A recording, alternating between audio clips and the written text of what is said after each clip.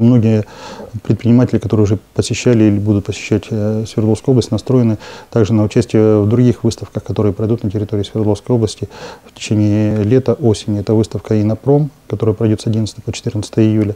Это выставка вооружений, которая пройдет э, у нас в сентябре месяце. Так что со многими зарубежными партнерами, которые приезжают сюда на, в рамках вот, э, данных мероприятий, которые только что я озвучил, мы с ними еще сможем встретиться и на выставке «Инопром», и на выставке вооружений. Что касается «Инопрома» выставки вооружений, какие заявки уже поданы, то есть чувствуется ли, скажем так, градус интереса? Количество мероприятий, которые мы планируем провести в рамках «Инопрома», оно действительно очень-очень-очень большое. Хочу сказать, что Работа по наполнению экспонент, экспонентами э, выставки «Инопром» она проводится, и действительно э, мы сможем с вами увидеть, я уже сказал, даже вот металлообрабатывающие центры, которые созданы на территории Свердловской области. Планируется э, компания «Акума», также станкостроительная компания японское представительство, здесь представителем является компания «Пума Ресис» которая также э, планирует э, выставить свое оборудование, свой станок металлообрабатывающий центр. Это связано с визитом у нашего губернатора в Японию вот, в феврале месяце, который состоялся. Компания Hitachi будет э, представлять большой центр, большой стенд в рамках этой выставки.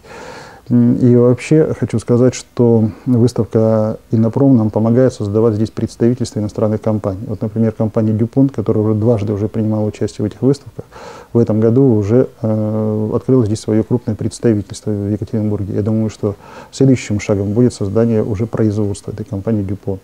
То есть э, все потихоньку идет, постепенно все э, развивается.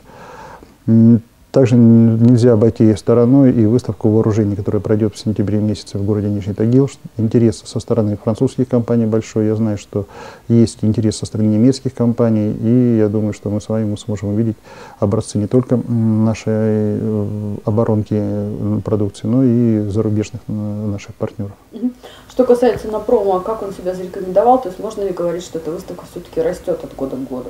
Безусловно. Вот в ближайшее время будет совещание по выставке «Инопром». Я сегодня уже, как можно сказать так, э, пальпировал одного из руководителей, кто отвечает за эту выставку, что количество мероприятий, которые мы планируем провести, мне кажется, оно уже зашкаливает, потому что нам уже нужно понимать, что э, и рассчитывать на те силы и средства, которые у тебя есть. То есть, а желающих поучаствовать в выставке и провести там круглые столы, семинары, дискуссии, действительно достаточно много. И мы уже получаем заявки также от органов, э, от федеральных органов власти на проведение того или иного мероприятия. И нужно, конечно, понимать о том, что и выставка не резиновая, с одной стороны, но с другой стороны, э, это большое доверие, и это большое признание той выставки, которую мы с вами вместе в общем, и раскручиваем, и проводим.